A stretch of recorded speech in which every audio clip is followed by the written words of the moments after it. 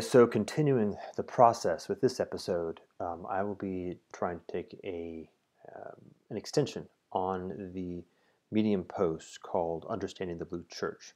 So, this is an effort to see if the visual medium can help uh, extend or enhance that particular Medium post. Um, I don't actually know whether or not it would be more beneficial for someone to have read that first, to watch this and then read it, or to merely watch this, or possibly to engage with neither. Um, so here's the, the proposition. Uh, when I when I use the, the phrase or the concept of the blue church, there's a handful of distinctions that I feel are important to make first that I noticed um, the lack of them, I think, seemed to leave some people confused. Uh, so first and foremost, um, I am not in any normal sense talking about anything like a church. Right? We're not we're not talking about the Catholic Church or the Episcopalian Church or big buildings with crosses on top and whatnot.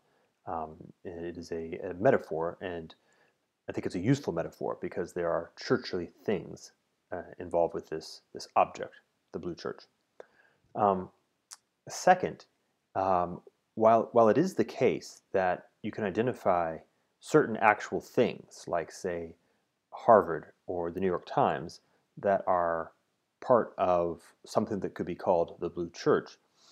Um, I think it's actually much more interesting, important, and useful to perceive this thing, um, this thing I'm calling the Blue Church, from the perspective of an abstraction, from the perspective of a fundamental way of going about doing certain kinds of things in social space that was developed in a certain time frame that I'll talk about in a moment under certain conditions, um, and that happens to have been um, embodied in certain institutions that we can physically touch or at least talk about, um, but they're not actually the key. So, for example, I would say that there is uh, some variant on the Blue Church in most of the Western civilizations. Um, and they are different institutional structures, and, and, they in fact behave differently because they have different path dependency on how they got here. So the second distinction is to try to separate the the things that we are familiar with from what I think is the more fundamental characteristics of how this particular process came to be and how it operates. And then the third is to make a distinction between the form, the blue church, and the content, what I call the blue faith. Um, now, again, it, it, it is the case that there is a linkage, which is why it's useful to even talk about them both as being blue, um, between the blue faith and the blue church, and the color blue, because both are broadly right now in the United States uh, associated with uh, the left and with the Democratic Party. Um, but all of those can and should be also decomposed and separated. So isolating the blue faith from the Blue Church, I think is useful and helpful. Uh, and I haven't actually spent an enormous amount of time digging into the specific characteristics of the Blue Faith and how it came to be. Uh, I could sort of broad brush say that it seems to be showing up as the consequence of the long development of a number of different things that were more or less kind of categorized as the New Left back four, six decades ago, and how they come to show up now. But you know, that's a broad brush. I'm not talking about that. I'm talking about the form, the the the, the blue church itself. Okay, so so given that, let me let me go deeper. What, what do I mean? Uh, the the the big picture concept is to say that in society, which is to say in human structures that are much larger than the kinds of aboriginal social arrangements that we uh, developed in, you know, millions of years ago, hundreds of thousands of years ago, um, in the kinds of things that emerged at scale after the development of agricultural civilization. So societies, in societies, um, we need some way to go about getting this mass of people to coordinate, to be on the same page, to be able to make choices together, um, and to undertake actions in a coordinated fashion. And that this way, I'm going to call this a social control structure. And I don't mean anything particularly malevolent about that. I don't mean control in the sense necessarily of tyranny, although it certainly can be tyrannical, but more in the cybernetic sense, or even in the uh, the steam engine sense. I mean, it's just a a necessary mechanism to get a bunch of disparate kinds of elements to work together well. Um, and the, these social control structures uh, evolve or develop under certain kinds of social conditions. So, for example, the uh, Victorian era social control structure um, grew up in the middle of the 19th century under the context of the significant increase in population that had been delivered by the that particular agricultural revolution, um, by the new urbanization, by the emergence of industrial technology, um, and by the changes in human mobilization that were brought about by the railroad, and by the early emergence of the telegraph uh, which changed the way that we could communicate. And of course, even the newspaper, which also changed the way we could communicate. So these are all characteristics of the social environment that gave rise to certain possibilities and certain necessities uh, that uh, any social control structure would have to uh, deal with. Um, and over time, as certain experiments were tried and different approaches were uh, endeavored, a particular collection that I will call the, the Victorian era structure came into being, and it and it you know, it worked for a while. And then in the early part of the 20th century, uh, the situation had changed, and that particular control structure uh, broke down. And we saw in the middle of the 20th century the emergence of a new social control structure, and that is what I'm calling the Blue Church. So here we saw again a significant change across the entire social field. Again, a massive increase in population, uh, a significant shift in the way that people lived, the suburban diaspora, for example, um, massive changes in transportation, uh, the ability to travel by aircraft or car really changed the cosmopolitanism of individual human beings, um, and the massification of both uh, production processes and, I think most importantly, uh, communications. So the emergence of uh, mass media most notably television. And so we might say that the blue church is uh, the consequence of what happens when you endeavor to generate a social control structure in that context. And specifically, we might say that the blue church is how one goes about doing social control in the context of broadcast. Uh, so now I'm making a bit of a shift, and I'm focusing on what I think is the main point. Um, the blue church is quite characteristically broadcast, and you might even say that broadcast will tend to show up as something like the Blue Church. So, what does that mean? Uh, so, first, broadcast is a, a mode of communication where you have a strong asymmetry between the signaler, the communicator, the expressor, um, and the audience, meaning both that there may be a small number of signalers, like say one, and a potentially very large number of, of audience, maybe everyone.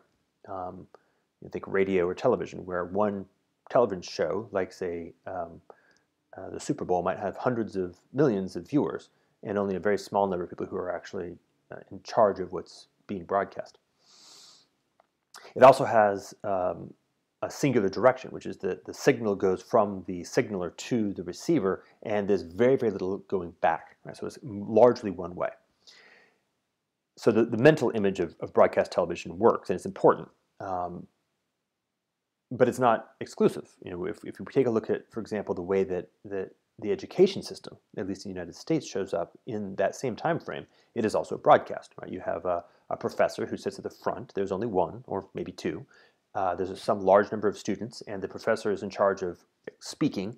the students are responsible for listening, and there's very little back channel. Right? So, still a broadcast topology. And the proposition that I'm making is that this, this nature of broadcast topology, one, is characteristic up and down across the Blue Church, and therefore becomes one of the primary characteristics to look at. Um, and two, has uh, implications. It has implications in terms of what kinds of things are said, how power shows up and plays with the constraints of how broadcast operates, and also in terms of what the underlying uh, consciousness and psychological uh, characteristics of human beings are that happen to develop in this environment. Um, so we'll get to that actually in a little, in a little bit. Uh, and remember, this is not a, an effort to disparage either broadcast or the Blue Church It's a diagnosis to describe something that seems to have simply been the case, a phenomenon. And in fact, it, it, worked really well, right? If we take a look at the, at the scope of what civilization was able to accomplish in the 20th century, it was broadly astoundingly awesome. Uh, the, the well-being of human beings went up enormously uh, across the board um, in almost every location. There are all kinds of travesties as well, for sure, but that's um, just part of what happened. Uh, but the, the things like being able to go to the moon or build you know, healthcare systems that radically improve the quality of life or the, the agricultural revolution of that century were all part and parcel of the kinds of things the Blue Church could do. And it did this by uh, generating a certain topology. So now we're into the second major point. The, the topology of the Blue Church um, seems to be defined by um, two major characteristics. One characteristic is its organization into a, a, hierarchy, as all broadcasts are wont to be, even if it's just a two-layer hierarchy, the broadcaster and the signal. Uh, but in this case, it's a multi-layer hierarchy, and it's a hierarchy that in the vertical direction you could say is a hierarchy of expertise or of legitimate and or credible authority.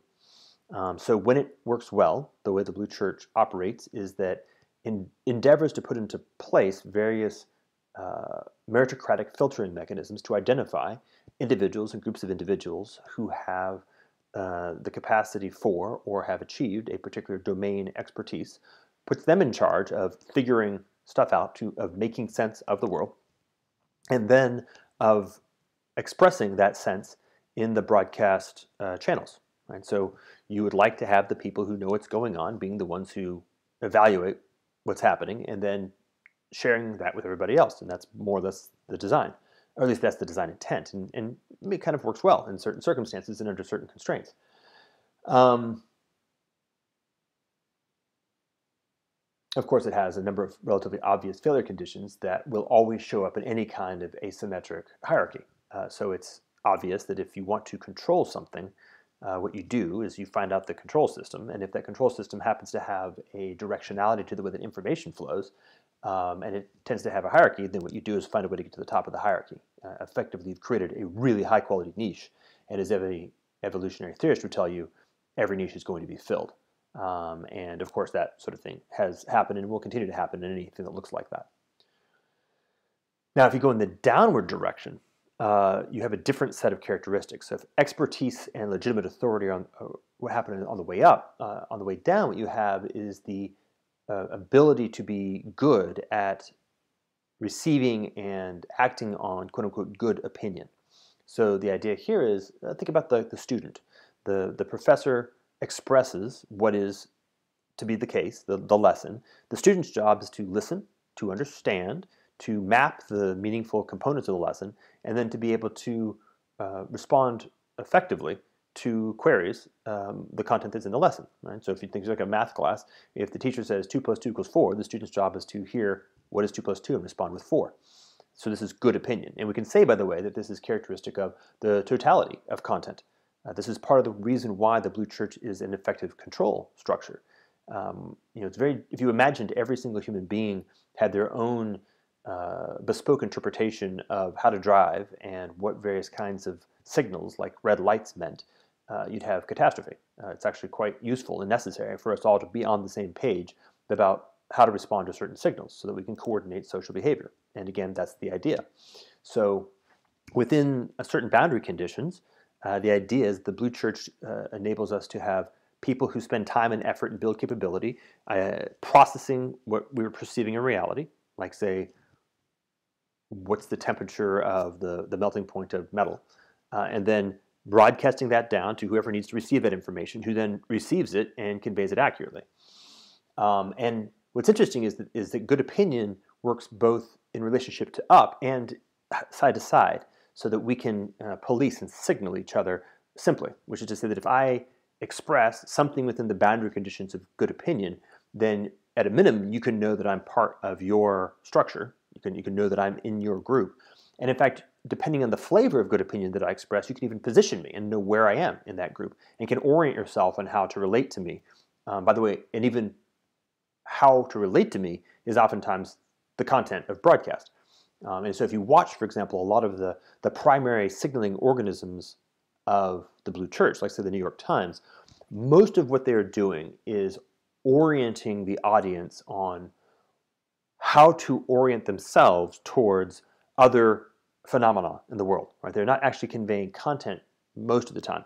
Mostly what they're doing is providing kind of a prefab set of evaluations of here's what the landscape looks like and here's how you ought to respond to it so that you are acting within the constraints of, of good opinion. Or, in the most positive spin, you're acting under the recommendation of wise people who've done a good job digesting this and providing the prefab way of responding to the world. Um, obviously, one can take a less generous opinion of what they're up to.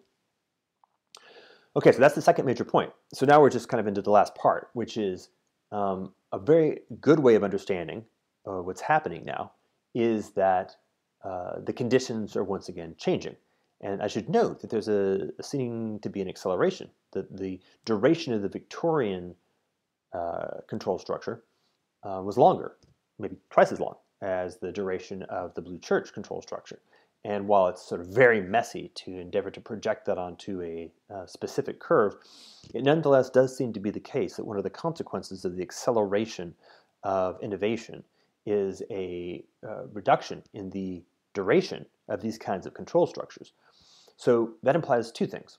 Uh, one is that uh, the if the if you say that the conditions upon which the Blue Church were, was created and for which it was adapted are themselves changing, uh, then this is a lot like the changing of a niche. You know, if you if you see the uh, you know the end of the ice age means the end of the woolly mammoth, no matter how awesome the woolly mammoth was in in, in the snow um, the, the end of the broadcast age and the emergence of a new way of, at the very least, making sense of the world and coordinating our thoughts and actions uh, portends the end of the Blue Church, no matter how awesome or not awesome you think it was.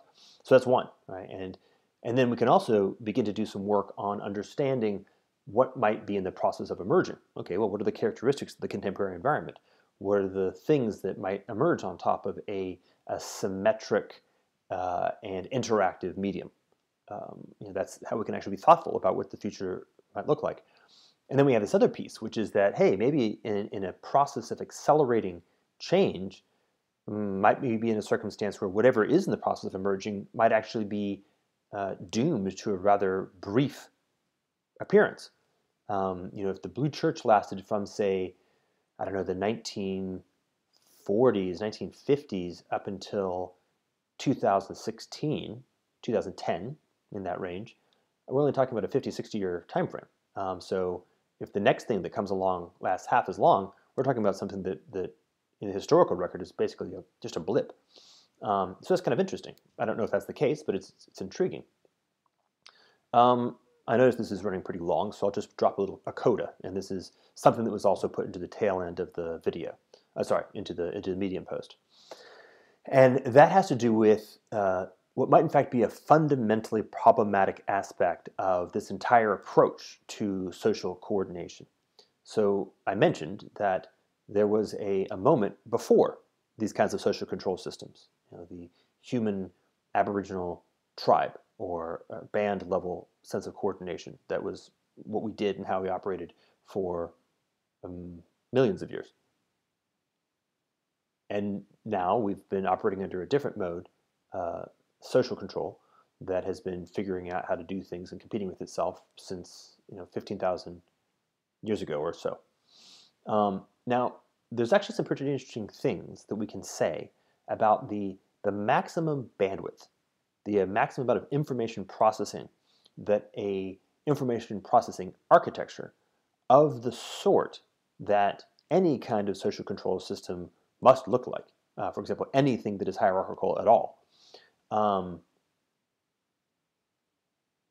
has actually a limit on the amount of information that it can process. And what's interesting about that is that we may have passed that limit. That the world that we currently live in, the world that exists as a consequence of the success of the Blue Church, may actually be more complex than any hierarchical social control system can manage at all. So it's not just a matter that things have changed and therefore we're in store for some meaningfully significant shift from the Blue Church model to some other kind of broadly comparable model, um, but rather that something even more fundamental has changed, and that therefore we actually are now in the process of shifting, if we make the shift at all, to something that is as different from uh, civilization as civilization was from pre-civilized tribal, tribalism or the band level of coordination. Um, and, and, again, we can talk about some characteristics. This thing, whatever it is, um, if it is to survive at all, must be able to cope with accelerating change, exponential technology, for example. Um, it must be able to cope with the ambient complexity of the total natural environment, uh, and it must be able to cope with the ambient and recursive complexity of human beings ourselves. Uh, the fact that anthro-complexity is different than just natural complexity. Um, and that's it. So, 20 minutes. I hope this uh, is interesting.